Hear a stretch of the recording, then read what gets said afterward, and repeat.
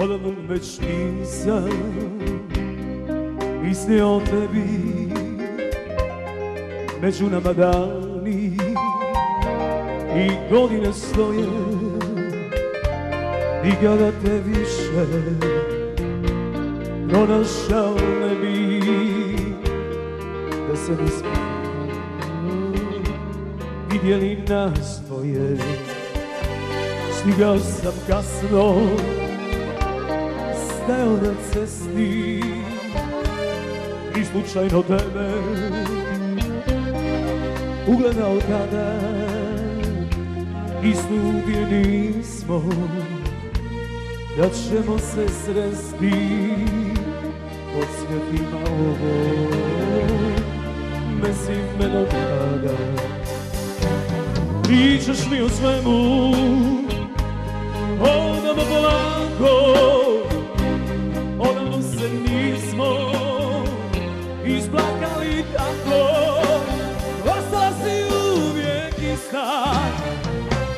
I ove suze na licu tvoj Ostala si uvijek ista Jedina žena na putu moj Ostala si uvijek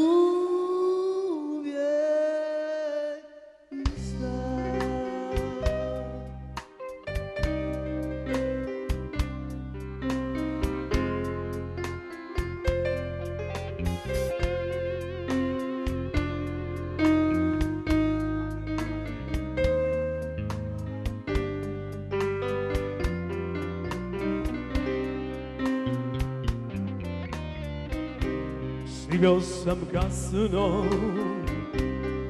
Stajao na cesti I slučajno tebe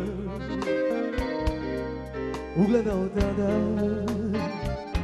I sludili nismo Da ćemo se sresti Od svetima ovog Bezimenog grada Pričaš mi o svemu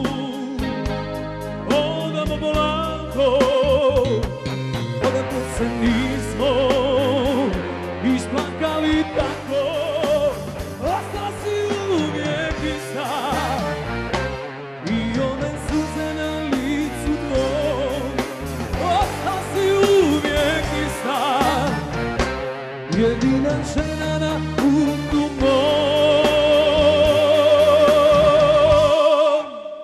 Ostala si uvijek